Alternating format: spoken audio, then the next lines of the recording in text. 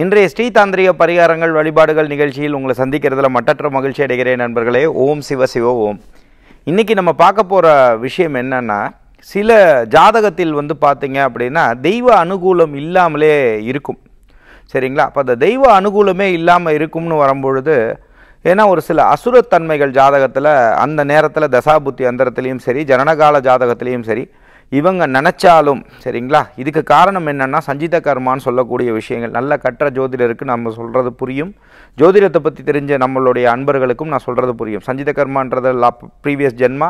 அதே மாதிரி வந்து பார்த்திங்கன்னா பூர்வ புண்ணிய ஸ்தானம்ங்கிறது நம்மளுடைய மூதாதையர்கள் செய்த பாவ புண்ணியங்களை குறிக்கும். அப்போ அந்த மாதிரி விஷயங்களில் வரும்பொழுது எந்த பிளானட்னால அவங்க என்ன தப்பு செஞ்சாங்களோ அந்த தப்பு மூலமாக வரக்கூடிய அந்த பேட் எஃபெக்ட்ஸ் வந்து இப்போ வரக்கூடிய தலைமுறையில் இருக்கிறது ஆணாக இருந்தாலும் சரி பெண்ணாக இருந்தாலும் சரி அந்த பரம்பரையில் இருக்கக்கூடிய அவங்க செய்த விஷயங்களில் உள்ள பாவத்தை இங்கு வந்து பிரச்சனையை கொடுக்கும். அப்போது ஒரு சில நேரங்களில் என்ன ஆகிடும் அப்படின்னா அதோட உக்ரம் ரொம்ப ஜாஸ்தியாயிரும். அப்போது இவங்க என்னதான் சுவாமியை கும்பிட்டாலும் இவங்க என்னதான் பிரார்த்தனைகள் பண்ணாலும் ஏன்னா நிறைய அன்பர்கள் சொல்கிறது ஒன்று நான் சுவாமியை கும்பிட்டேன் சுவாமி கும்பிட்டேன் ஆனால் எதுவும் நடக்க மாட்டேங்குதுன்னா அது மட்டுமே இல்லை. அப்போ அதோட அதோட வேல்யூன்னு ஒன்று இருக்குது என்னென்னா அந்த கர்மதோஷத்தோட அளவுகள்னு ஒன்று உண்டு. அதே மாதிரி பூர்வ புண்ணிய ஸ்தானத்தில் இருக்கக்கூடிய பிரச்சனைகளை எப்படி செய்யணும்? அப்போ அது பண்ணும்போது பெருசாக செலவாயிருமோ அப்படின்னா அப்படியெல்லாம் இல்லைங்க. அந்த வழிபாடுகளை கற்றுக்கும் பொழுது ஏன்னா உங்களுடைய வலி வேதனை சந்தோஷம் துக்கம். இப்போ என்னோட சந்தோஷமும் துக்கமும் அடியேனுக்கு மட்டும்தான் புரியும். சரிங்களா? அதே மாதிரி உங்களோட இதே தான் எல்லாருக்கும். அப்படி இருக்கக்கூடிய காலத்தில் நீங்கள் என்ன புரிஞ்சுக்கணும்? அந்த மாதிரி விஷயத்துக்கும் வந்து நம்ம மகான்களும் நம்மளுடைய மூதாதையர்களும் நமக்கு சொல்லிப்பட்ட ஜோதிடன் அப்படின்னா யார்? ஜோதியை கொடுத்து திடத்தை காட்டி வழிகாட்டுபவரே உண்மையான ஜோதிடன். அதை விட்டுட்டு அவ்வளோதான் நீங்கள் அவ்வளோதான் இன்னும் அஞ்சு வருஷம் முடிஞ்சிடுது அப்படின்னு சொல்கிறது அல்ல. சரிங்களா? அப்போ இத்தனை பிரச்சனையில் இருந்திருக்கோம். இந்த கொரோனாவெல்லாம் கிராஸ் பண்ணியிருக்கோம். இந்த நிகழ்ச்சியை நம்ம பார்த்துட்டுருக்கோம். அப்போ நம்ம ஏதோ ஒரு சாதிக்கிறதுக்காக தான் நம்ம வந்திருக்கோங்கிற விஷயத்தையும் நம்மலாம் புரிஞ்சுக்கணும். சரியா? எல்லாம் கொத்து கொத்தாக இறந்துட்டு இருக்கும்போது இன்னைக்கு கடவுள் வந்து நமக்கு கொடுத்துருக்காரு இல்லையா? அப்போ இருக்கக்கூடிய காலங்களில் நம்ம ஒரு பாசிட்டிவ் எனர்ஜியோட சில விஷயங்களை நமக்கு சொல்லி கொடுத்த நம்ம மகான்கள். ஏன்னா அந்த மகான்களும் யோகிகளும் அவங்கெல்லாம் வந்து சுயநலம் இல்லாமல் தன்னலம் இல்லாமல் எல்லாத்துக்கும் சொல்லி கொடுக்கக்கூடியது. இப்போ என்ன மாதிரி ஆட்கள் ஜாதகம் பார்க்கக்கூடிய இன்றைக்கி இருக்கிற இன்றைக்கி இருக்கக்கூடிய வட்டாரத்தில் இருக்கிறது எல்லாருமே வந்து பார்த்திங்கன்னா ஒரு கமர்ஷியல் வேர்ல்டில் தான் நாங்களாம் இருக்கோம். இப்போ நீங்கள் ஜாதகமே பார்க்க வரீங்கன்னா நான் காசு வாங்கி தான் பார்க்குறேன். இப்போ எல்லாருமே இப்படி தான் நம்ம பண்ணுறோம் இல்லையா?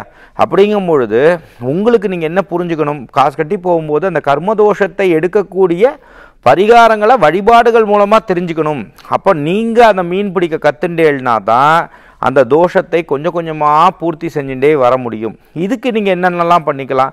ஹோமங்கள் வளர்க்குறதுக்கு உங்களுக்கு வந்து நல்ல வசதி வாய்ப்புகள் இருந்தால் அதை நீங்கள் செஞ்சுக்கலாம்.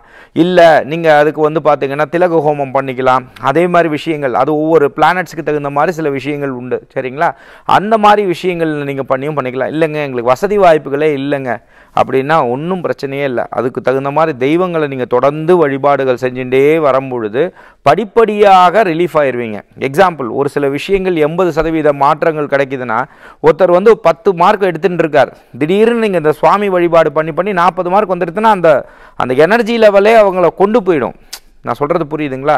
அவங்க பாஸ் மார்க் ஆகிட்டாங்கன்னா அடுத்த லெவலுக்கு அவங்களே இந்த வேகத்திலே அப்படியே முன்னேறி போயிடுவாங்க ஏன்னா அவங்களுக்கு அந்த ஒளி கிடச்சிரும். இந்த மாதிரி விஷயங்களுக்கு வந்து பண்ணிக்கிறதும் அந்த தெய்வ அனுகூலத்தை கொண்டு வர்றதும். அப்போ அந்த தெய்வ அனுகூலம் இல்லையா? சில பேருக்கு வந்து எப்படி நீங்கள் அதை உணரலாம்? அப்படின்னு பார்த்தீங்கன்னா தெய்வ அனுகூலம் இருக்கக்கூடிய குடும்பத்தில் வந்து சந்தோஷங்கள் இருக்கும். எல்லா இப்போ வீட்டுக்கு போனாலும் நல்ல ஒரு குதூகலமான சிந்தனை இருக்கும். இதுக்காக நீங்கள் போட்டு குழப்பிடாதீங்க. எங்கள் வீடு கிழக்கில் இருக்கிறதுனால பிரச்சனையா மேற்கில் இருக்கிறனால பிரச்சனை எப்படிலாம் குழப்பிடாதீங்க. அப்படியெல்லாம் இல்லை. எந்த திசையில் இருந்தாலும் எந்த திக்கில் இருந்தாலும் ஜனனகால ஜாதகம் நல்லபடியாக இருந்தால் அவங்க வாழ்ந்தே ஆவாங்க. சரிங்களா? அதனால் அதிலலாம் போட்டு குழப்பிடாதீங்க நான் சொல்லக்கூடிய விஷயம் என்னென்னா நீங்கள் உங்கள் வீட்டுக்கு போனால் ஒரு மன நிம்மதியோடு இருக்கக்கூடிய தன்மையும் ஒரு சந்தோஷங்கள் நிலவிண்டே இருக்குது நீங்கள் நினைக்கக்கூடிய காரியங்கள் ஜெயிக்கக்கூடிய தன்மையும் சில அசரீரிகள் நிமித்தங்கள் இதெல்லாம் உண்டுங்க. இப்போ நல்ல நம்பிக்கையோடு இருக்கும் பொழுது திடீர்னு வந்து பார்த்தீங்கன்னா சில தெய்வங்களை நினச்சிட்டே இருக்கும்போது விபூதி கமலும் விபூதி வாடை வரும் அதாவது ஸ்மெல்லு வரும். சில குடும்பங்களில் வந்து பார்த்திங்கன்னா சுவாமி உள்ளே வரும். சுவாமி வரும்னா நடந்து வர்ற மாதிரி இருக்கும் அதே மாதிரி அந்த சுவாமி நடந்து போகிறது தெரியும். சில நேரத்தில் ஜல் ஜல் ஜல் ஜல் சவுண்டு கேட்கும் ஸோ இந்த மாதிரி விஷயங்களெல்லாம் உணரணும். சில பேர் பயந்துருவாங்க. இப்போ எனக்கே சில ஸ்டூடெண்ட்ஸ் எல்லாம் இருக்காங்க. சரிங்களா? அவங்களாம் பயந்து போயிடுவாங்க அப்படி காரணம் என்னென்னா அவங்களுக்கு சந்திரன் வீக்கு நான் சொல்கிறது புரியுதுங்களா? அப்போ இவங்களுக்கெல்லாம் வந்து தெய்வங்கள் கூடயே இருக்குது அப்போ சுவாமி எல்லா இடத்துலையும் இருக்குது ஆனால் இப்போ இதில் என்ன ஆகிடும் இந்த எதிர்மறை சிந்தனைகள் வரும்போது அந்த பேட் கர்மாஸ் வரும்போது சுவாமி பாட்டுக்கு இருக்கும். அந்த எதிர்மறையோட லெவல்கள் வந்து ஜாஸ்தி இருக்கும். அப்போ அந்த எதிர்மறையோட லெவல்கள் ஜாஸ்தியாக இருக்கும்போது அந்த ஆற்றுல என்ன வரும்? சண்டைகள் வரும். சச்சரவுகள் வரும். மனைவி கணவனுக்குள்ளே ஏதாவது சண்டை வரும். வீட்டில் பசங்க வந்து பார்த்திங்கன்னா தவறான பழக்க வழக்கங்களுக்கு போவாங்க. இந்த மாதிரி விஷயங்கள் தொடர்ந்து வரும்பொழுது நல்ல நான் முன்னாடியே சொன்ன மாதிரி ஜனனகால ஜாதகத்தை நல்ல ஜோதிடரிடம் போய் பார்த்து அந்த கர் அந்த க இதையும் பண்ணிட்டு அந்த அதுக்குள்ள வழிபாடுகளையும் தெரிஞ்சுட்டு அதுக்கப்புறமா நீங்கள் செய்ய வேண்டிய பிரயோகம் என்ன?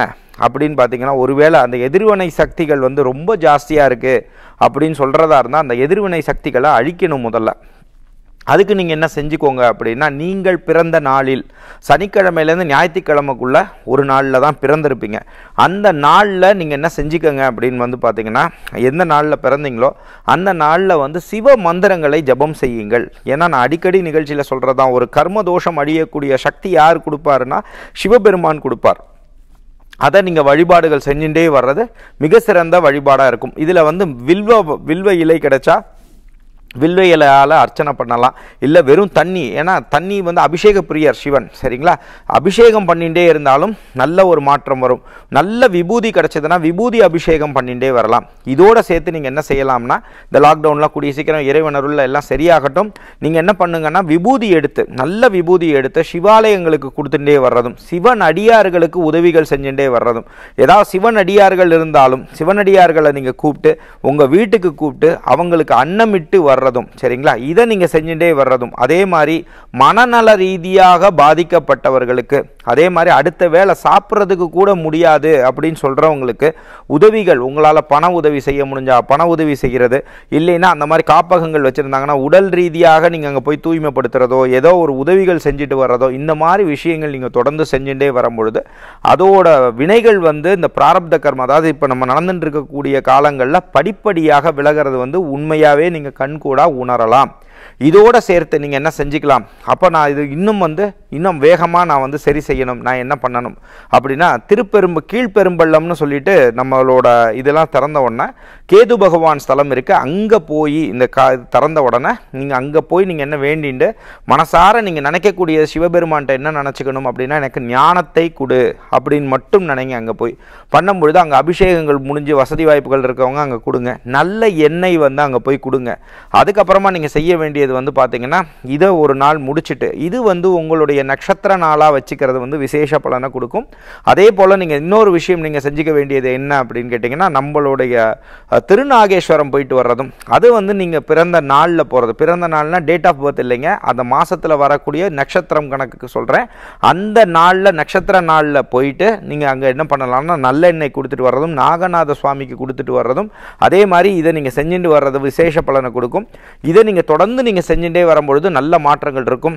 இது இல்லாமல் தெரு நாய்களுக்கு வந்து நீங்கள் உணவு அளிச்சுட்டு வர்றதும் இதை நீங்கள் தொடர்ந்து செய்யும் பொழுதும் நல்ல படிப்படியான மாற்றங்கள் இருக்கும். இதை நீங்கள் ஒரு ஸ்டேஜில் பண்ண பண்ணவே உங்கள் வீட்டில் தெய்வ சக்தி நிறைய ஜாஸ்தி ஆகிறதையும் நீங்கள் கண்கூடா உணரலாம் அன்பர்களே நாளை மற்றும் ஒரு தாந்திரிக ரீதியான வழிபாடுகளுடன் உங்களை சந்திக்கும் வரை உங்களிடமிருந்து வணக்கம் கூறி விடைபெறுவது உங்கள் விஜய் சேத்து நாராயணன். நன்றி வணக்கம். ஓம் சிவ ஓம்